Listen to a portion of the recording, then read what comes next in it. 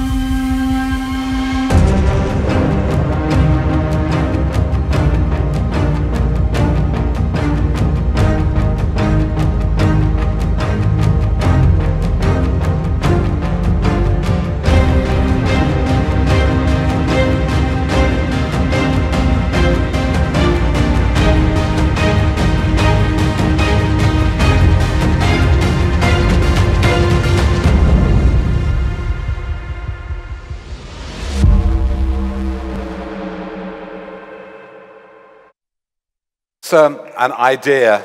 Uh, Sheridan, if you're in the, thanks for that compilation.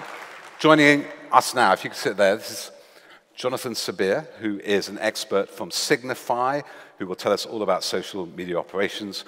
Paul Hilder, an early digital guru and campaigns expert. And on my right, my beloved, I'm going to be very friendly with him because I so admire this man, Samir Sanni. Shahmir Sanni.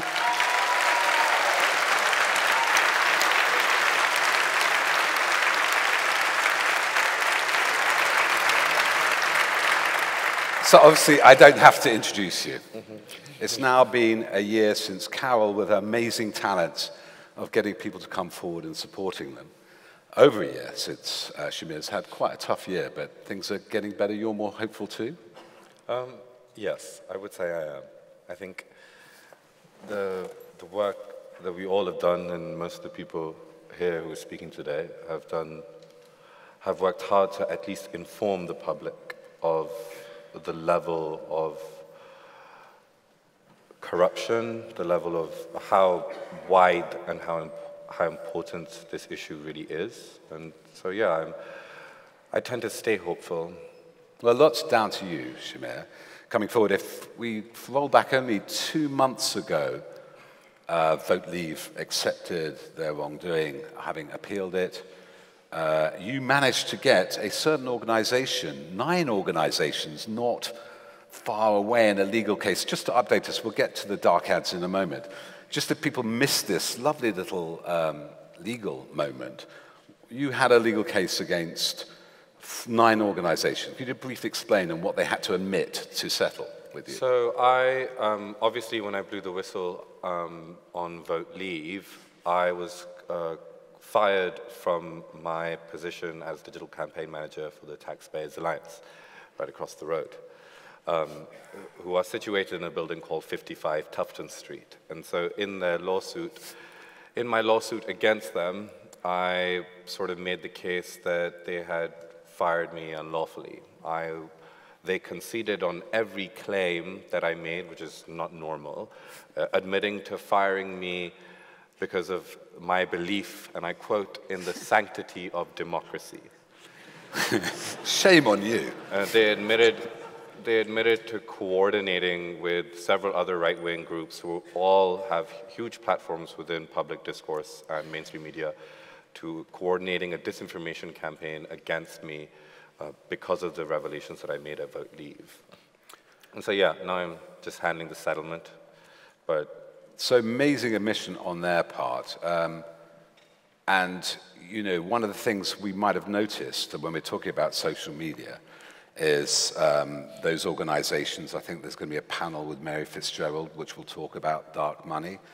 One might think about you know, American dark money and Citizens United. But one thing I think it's worth stressing um, in the year since I first met you, honored to meet you last March, um, it's not just social media, is it? I mean, a lot of the social media gurus you worked with who could be, let's say, involved in some wrongdoing now appear regularly on the BBC. Yeah, uh, it's, it's a mixture of things, right? Social media isn't the only force in play that is allowing for the, the rise of populism or the far right. And it's, it's not social media that is perpetuating racist sentiment. It is also the normalizing of that, um, of these values on mainstream publications and news channels. And I saw that personally where I wasn't being given the platform to speak to the public about Vote Leave's criminality, yet the people who were involved in the crimes were giving one-on-one -on -one interviews with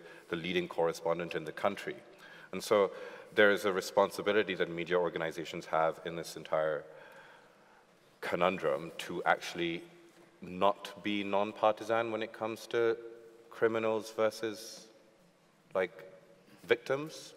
So, I mean, you'd think that was, that, that's, you'd think that'd be obvious, but uh, the sort of conversations going on in mainstream media, uh, not just the mainstream media, even in sort of uh, publications that aren't read by that many people, is that somehow we have to balance crimes with the law. And sometimes you have to like balance like murder with the victims. That's not how it works. and, and that's, you know, that's what allows for uh, the propagation of Islamophobia, of racism, of transphobia, of mm. um, xenophobia, and all of these sort of extremely disgusting values. There are two sides to Holocaust right. yeah, well, quite. Uh, just an example of that, um, I don't know if people remember during the tragic accidental fire in Notre Dame, that rapidly, and Russia Today, I think at least Sputnik was involved, a photograph of two suspicious Muslims leaving the blaze was photoshopped and shared on social media. Um, and, you know, RT is a public broadcaster, uh, not a public, a private broadcaster owned by Putin's friend. Jonathan, can I bring you uh, in on this and just some of that micro-targeting? Jonathan spotted well before Carole uncovered the truth around that time, the power of Cambridge Analytica. You can see the data floating around.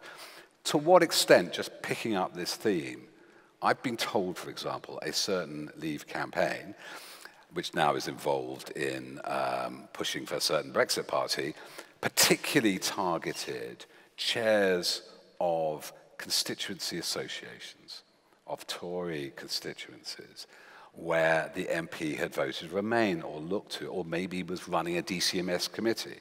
Is it down to that level of granularity you can actually go, let's swarm this one person with trolls, bots, threats, and, and therefore you're not targeting the population, you may be targeting down to that level. Is that viable? Is that me being stupid? There's, uh, well, yeah, there's certainly been an atomization of how you can conduct campaigns, but with, with great volume. So when you're talking about swarming and targeting people, it's not just the fact that you can target ads to certain groups that will never be seen by others. I think it was very interesting looking at the ads um, uh, in the video just before, um, because there have had so many conversations since 2016 where you're talking to groups of people, and particularly in London. And if you talk about the kind of ads that were being run, and you know, uh, there were ads run around animal welfare, which is quite surprising.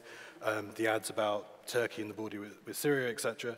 Um, so many people go, but I never saw any of those ads. Mm. And it's just indicative that you, that because they lived in London and they weren't part of the target audience, they weren't even aware of that campaign that was going on. So you can absolutely go and target. And we've seen various different campaigns um, which have intensified over the, the, one of the key points is that the campaign has never really stopped. After the referendum, the campaign kind of for Brexit never really uh, stopped, vote, leave, kind of um, wound down.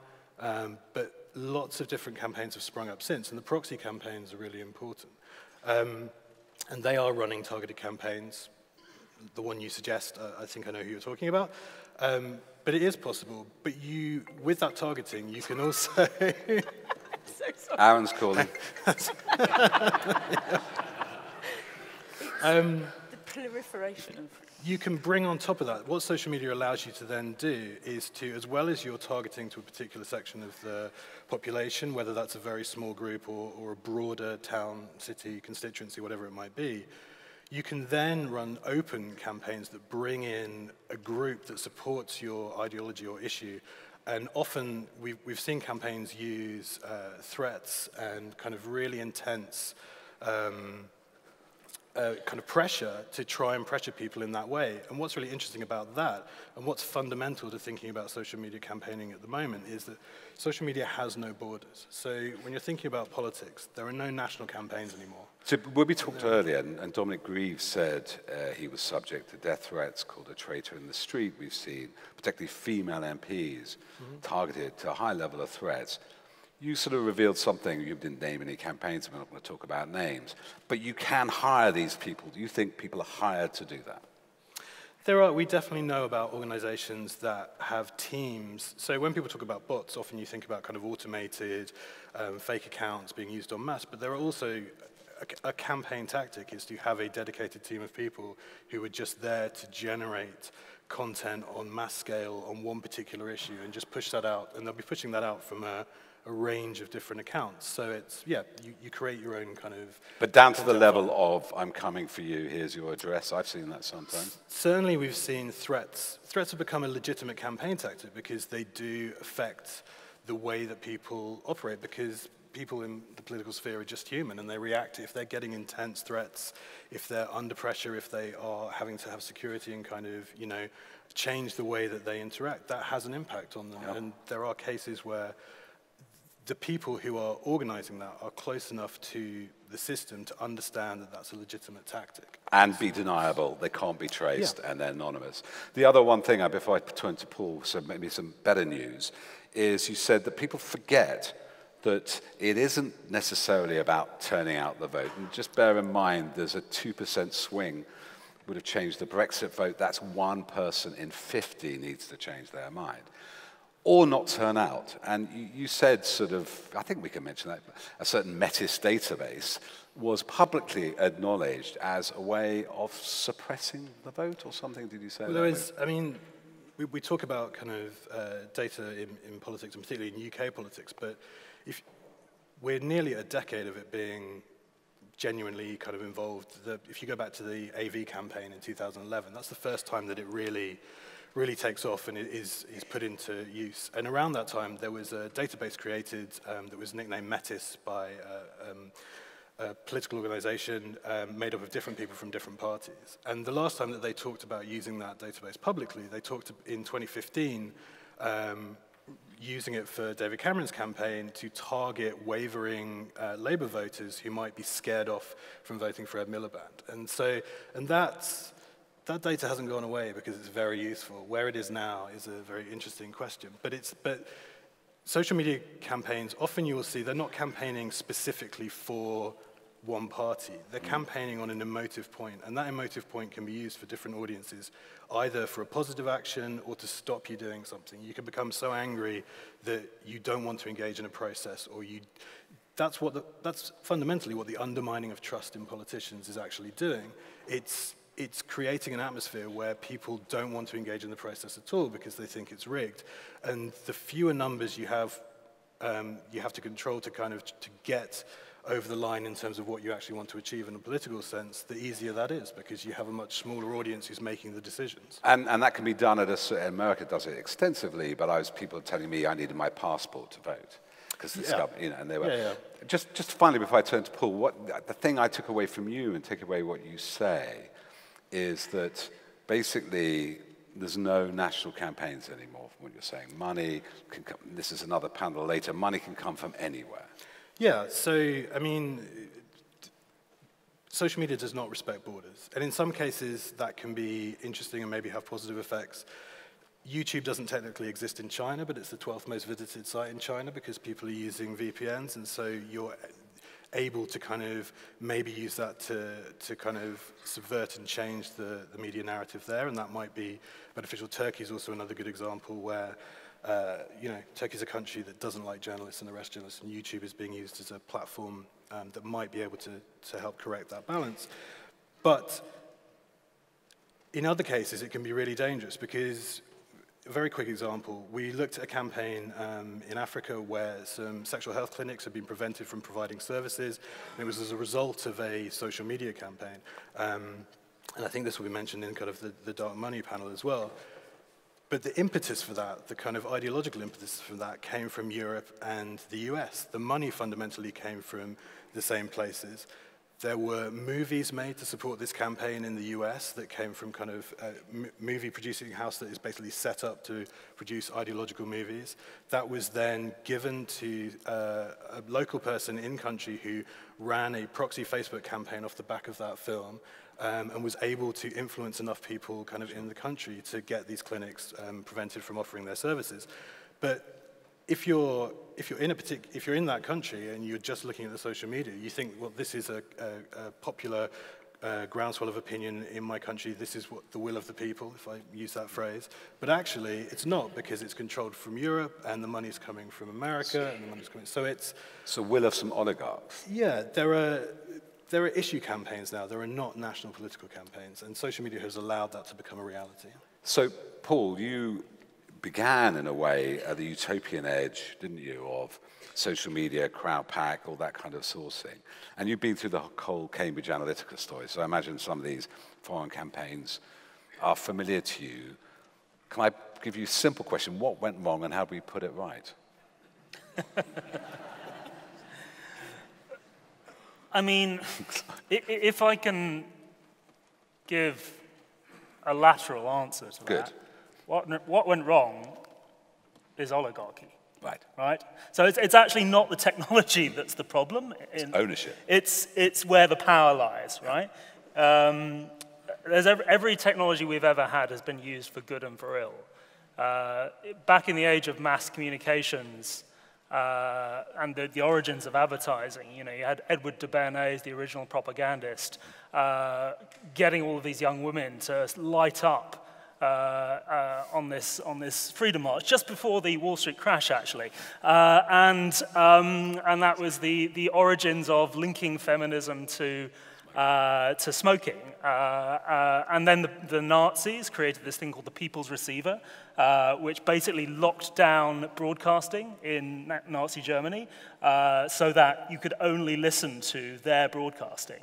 Uh, and, but then you had somebody like Roosevelt using broadcast for good. So I- think that you can use t- these networked social technologies for good and for ill, but you need to understand what is the landscape that we're playing on. Uh, and the landscape that we're playing on is oligarchy, it's abuse of power, um, and all sorts of uh, loopholes and uh, vulnerabilities in our democracies. Uh, so I think that we need to work at a sort of a strategic level and think very big about things like breaking up big tech.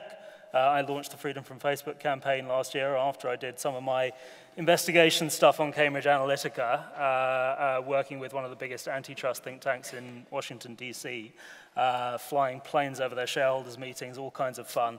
Uh, and you are seeing over the last, uh, what, 18 months, uh, thanks to a couple of things. Firstly, the Cambridge Analytica story, which I think has this seismic effect on the public conversation. Uh, and secondly, the, the organizing that's taking place around that, whole series of people in the Democratic uh, primary uh, taking up that idea of breaking up big tech and taking it seriously, even Trump starting to flirt with it and the Republicans. Uh, and, um, you know, because there's a wind blowing, right? So that's one thing. I'd say another thing, you know, Trump's flirting with it, obviously cynical and he wouldn't follow through in a million years. But, um, uh, but then, you know, the next panel is going to talk about the money stuff. I don't want to talk about No. too much about that, but uh, you know, all of the offshore laundering money into into the country. What about other legislation, like uh, you know the idea of GDPR or extended version of data rights? I mean, they're making their money from the data, which is very valuable. You're giving up from yourselves like oil. Oil's more valuable than data, and you're giving it to them free. Is there any way one can deal with that internationally at a sort of rights level, or is that is it the monopolies first? Well, I think, I think you attack it from every angle you can. Uh, I think that uh, there is a big question about like what's the new settlement for data, uh, because there's a lot of potential public value there. Uh, there are people playing with ideas of data trusts and actually putting data in the hands of the many, not the few, but then how do you put safeguards around that? Uh, so I, I think that's a big and complicated problem. There are other people saying everybody should just own their own data and be able to sell it. Uh, the trouble with that being it's very kind of uh, Tufton Street idea, actually. um, uh, but um, I mean, look, sort of stepping back and uh, I came into this, as you say, as an idealist who was going and doing uh, network social organizing and building movements and platforms like Avaaz and Change.org and 38 Degrees to try and reconnect people with power and try and renew politics in all sorts of different ways. Uh, and uh, in a way, I feel like the dream got mugged. In a way, I feel like uh, the, the thing that we, those of us who were sort of looking carefully at the world over the last 20, 30 years, uh, particularly outside this country, have always known is, you know, abuse of power is a thing. Like there were people running influence campaigns uh, with British and American money in Iraq and all around the world. Uh, I went to school with one of them, bloody idiot. But, um, you know, I, I, I, and just the nature of these relationships, fucking oligarchy. Like, Let me tell you this story. I, I still can't quite process this story. I went to this Scottish castle. My wife was a journalist. There was some PR thing, uh, and it was the fucking elite. and um, there was this lawyer who'd flown his whole family up from his castle in Dorset. Uh, and I sat next to his business associate from Guernsey, who's his accountant, uh, at dinner, and he started telling me about their offshore wangles. Uh, and uh, it later transpired that this guy's first name, St- Stephen, was the lead lawyer to the oligarchs, and his helicopter dropped out of the sky a couple of uh, years later. Um, uh, but one of the other guests, there were two, actually two Lib Dems. Uh, there was Lord Thurso, who was a guest at that party, and the other one was Richard Allan, who is now, now. the chief public affairs guy for Facebook in Europe. Um, and this stuff is just, it's, it's broken. Just, I, I want to turn back to Carol. But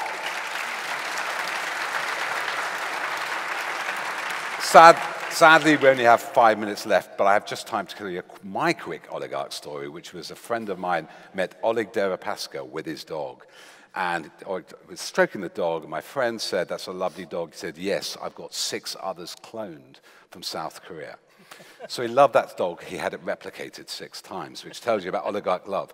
You, Carole, one of, one of the things you did was to go into the lion's den. I hope you've all seen this amazing YouTube, I've never, YouTube, of a TED talk. I've never seen Carole so scared but so brilliant. And she goes into the lion's den with people like Zuckerberg. Does what Paul's slightly talking about is the shame work. Is that one way? Can, you know, you said the moral force. Is that one way? Can we shame and legislate these people to give our democracy back? It's so interesting. I, I think that shame is a real key in this because, the, you know, people have to work for these companies. Facebook has to retain it's talent. And it's really interesting because I was told that the, the, the, wages in Silicon Valley are going up and up and up. And it's because Facebook is, having to, is distorting the economy. They're having to pay so much more now for engineers to get people to stay. So I, I and it, it comes down to this thing again, which is a sort of the thing that I was saying, which is that I really this story is, you know, it, it, can seem really complicated. The way I told it, I'm sure it seemed like stupidly complicated. I'm sorry for that. I got a bit carried away. But, the, but there, there is some really, really clear moral lines in it. And, and that is the thing that has managed to have been kind of forgotten and obliterated. And I think you can see that so clearly with Facebook. Facebook, the U United Nations, you know, accused Facebook of aiding um, mass killings in Myanmar. You know, how do you live with that? And they don't, you know, and, and, and I've heard, there's been one interview I've heard where like Mark Zuckerberg has been really questioned on that. And he can't, he can't bring himself to answer. But we should, that's the question we should all be asking and continuing to ask.